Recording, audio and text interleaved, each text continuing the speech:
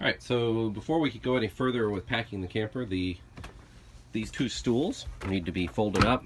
They will end up going flat on top of the couch, so I normally just put them on a table out of the way for the moment.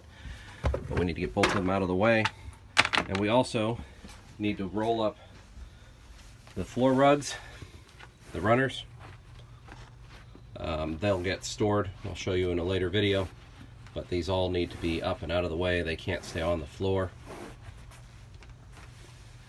I would also, as a prep, you want to make sure that the refrigerator is empty because um, we turned it off. And then this lock right there wants to be engaged on the fridge. You have to push in a little bit. It's meant for travel, not for daily use.